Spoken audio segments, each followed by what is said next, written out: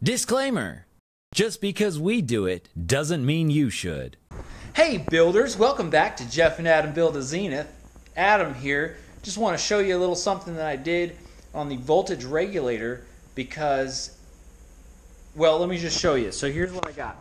So I've got this plate right here. This is all I did basically. I put this aluminum plate, backing plate on the voltage regulator here um, because there was a gap uh, between the voltage regulator and this plate here, this mounting plate, this thin plate right here. Um, and I think that may be, I think that may have been uh, some of the causes of some voltage regulators that were burning out uh, from some of the online research that I did. Um, I don't know. It, it, could just it could just be coincidental, but definitely wasn't good to have that gap there because one, that's a source of vibration, and two, uh, you wouldn't get good heat transfer. Um, so you know the whole the the you'll notice on the if you have one of these voltage regulators, the back of it is shiny, and that's that's to have a good heat transfer, whether it's like mounted right up against the firewall or wherever.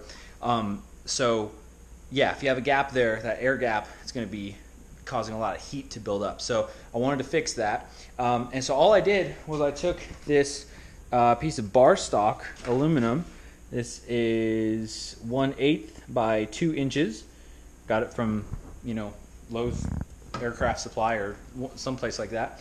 And I just cut down uh, just enough here.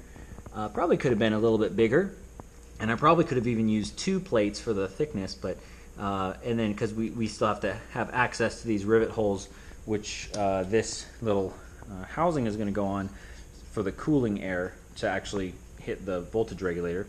Um, yeah, and then I just so I just cut it down here, about 59 millimeters uh, in length, and then uh, just kind of mostly centered it up, drilled a few quarter inch holes through it, and then what I did is I got some longer bolts. I believe these are four. Uh, what are these?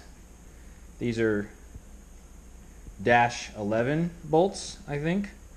So they're a, a bit longer than uh, they're actually longer than they need to be really, but just basically just longer than the uh, original bolts that were on here. And then what I also did, let me see if I can bring this camera around here.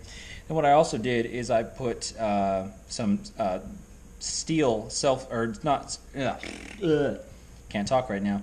And then what I did is I put some metal self-locking nuts um, as opposed to the nylon uh, style self-locking nuts because since this is an area where I know it's going to get pretty darn hot, um, I may as well put you know put the the all metal lock nuts in there instead of the uh, nylon ones because um, you know just that way we don't have any overheating kind of issues or anything.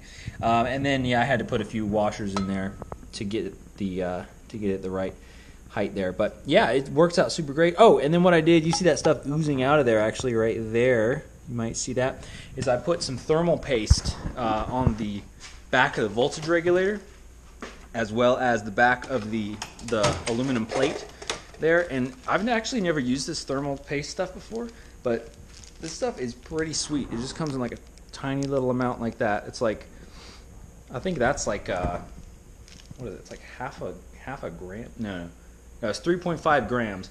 Uh, and this stuff is Arctic silver uh, high density polysynthetic silver thermal cooling compound. So, um, yeah, this is this is pretty pretty cool stuff. I think it'll work pretty well.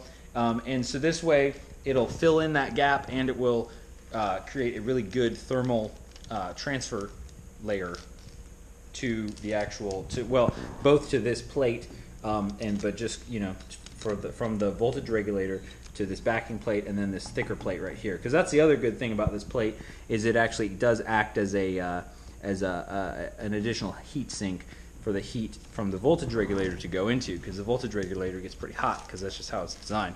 So anyway, uh, I might put a link to that thermal paste stuff in the description of this video uh, just in case you want to get some for yourself. I would definitely do that. Oh, the other thing that I did right here is I uh, I swapped the direction I don't know. This might come back to bite me later, just like everything else. But uh, I swapped the direction of the voltage regulator, so now it's actually uh, the the connector is pointing aft. Um, and I did that because it was just too close. I just felt like it was too close to the flywheel right here, and I just didn't like that, and I figured it'd be harder to access and connect and all that stuff later. So we have plenty of plenty of wire coming out of the uh, the generator here, and so what we can do, you know, is just make the connector go around like that, and it stays out of the way of the flywheel and all that stuff. So I don't really have any. Uh, I didn't really uh, feel like filming it, but I hope this was helpful to you anyway. Uh, if it was, you can leave a comment, let me know, and let me know what you decided to do for your voltage regulator. If you have something like this, it might help somebody else out who's watching this video. Uh, if you found this video helpful, hit that uh, thumbs up button because that really helps because then it lets other people know that this video is helpful and then they'll be helped by watching it. And if you haven't already, consider subscribing to Jeff and Adam Build a Zenith because we're going to build this whole airplane and it's going to be great. So we'd love to have you along the way. All right. Oh boy. Well, I'm going to get back to building, so I'll see you next time.